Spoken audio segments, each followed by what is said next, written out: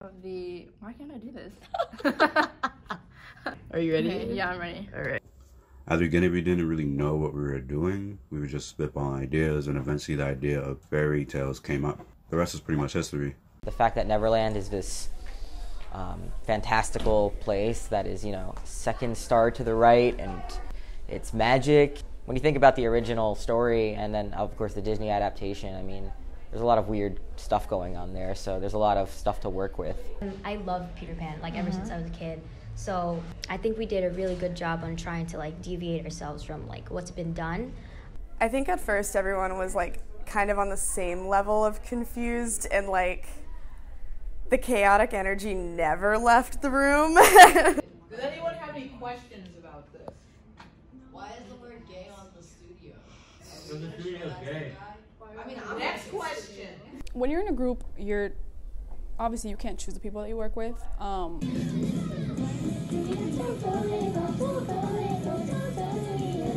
Okay, next. that was my song. So I think that in itself is a strength. Learning how to collaborate with other people and effectively make make something out of this, uh, something tangible out of this this this project.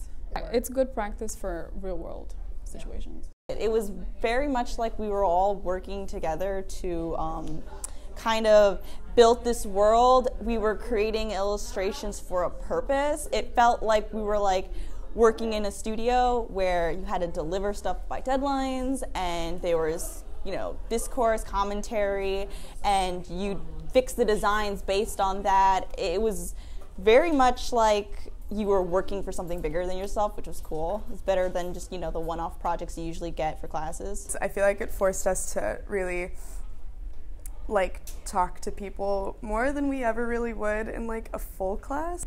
I can honestly say that I probably didn't talk to like 60% of the classroom like often. You you kind of like stick to people that you are comfortable with, but this made you like comfortable with everyone, which was really cool. It was a bit stressful at first. Uh, we took a little bit to kind of get our bearings and understand, you know, stylistically what we're going for. I think initially my biggest concern was like the meshing of the styles. It was a little difficult for me because I felt like my style differed a lot from the rest of the class. I kind of feel people had other ideas. Honestly, with the project changing midway, I, I, I feel like people weren't really into the competitive nature that the game created because it, it had to have some consistency with style, the aesthetic. I feel like there was I feel like there was a clear cut vision of what we wanted at first. Like we wanted a game and we wanted an art book to kind of like supplement it on the side. We realized that we bit off more than we could chew. That type of stumble kind of led to a lot of confusion and a lot of times we were just very anxious about what was going to be the end result. We didn't know like what we were going to have to show for ourselves. Initially I was like why are we doing this? I thought we are just going to do another free project. As a leader, my personal concern was um, not having everybody on board with the project. I was really focused on making everybody happy. Every project has highs and lows, um, and the lows were really low for me, like I said.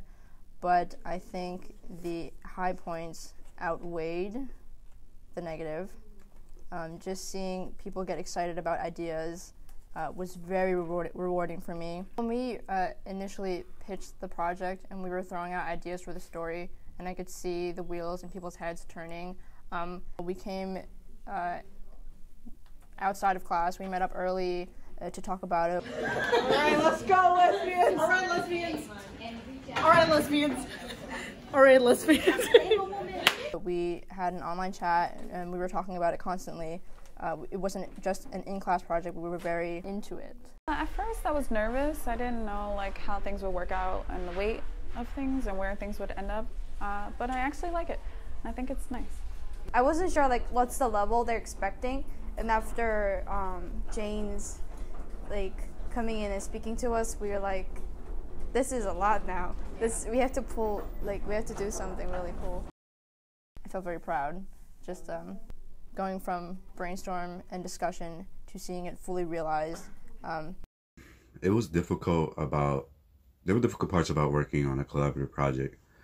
Uh, you're crossing the threshold of thinking about yourself to thinking about the bigger picture. Now that we're also having an exhibition, I now get to see how people react to the work in person.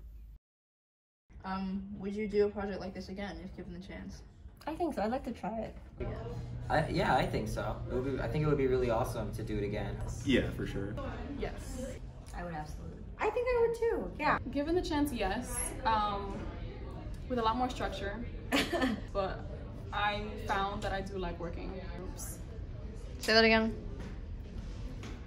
that I. I found that I really do enjoy working collaboratively. Yeah. Yeah, that was a confident yes. Yeah, it was good. I would do it again if, you know, taking everything we learned from this, I'm not as afraid of like a giant group project as much anymore. Yes, but with more direction. yeah, definitely. I would do it. It's cool. We have to do it, right? I really would do this project again. Um, I think it's a really good push for all of us, and I feel like just working with peers is just so important. The more people you have, the more eyes you have, so they'll be able to see more of what I probably couldn't see in my own designs. Y'all yeet. I chose to do this because I felt that uh, students don't get enough chance to work like seriously collaboratively because that's the way the world works. Even if you're an isolated illustrator, you'll the, the best work you'll do will be collaborating with your client. What were your expectations for this project versus the reality of what we did? It's probably very close to what I expected. How do you think we did? I think you did great. Yeah. Which is like, you leave for 30 minutes and it all goes to hell. I was constantly concerned that it could go very wrong. Smells like garbage. I'm proud of the fact that you guys worked through all of the levels of emotions and problems and conflict that exist in the real world. And I think this is probably the closest thing a lot of you have experienced to what a real project's going to feel like when you're when you're in the industry. Um, any last comments or pieces of advice for us? Uh, remember what happened here. You know, this you'll experience this again, and and and you'll be more empowered to be in control of the next time this happens. Anything else that you wanted to add? Any other comments? Uh, Anything about Dan? Dan's the man, man. Dan's the man. um, shout out to Dan. Dan, you're the man. No. Anything you want to say to Dan Shefelman himself?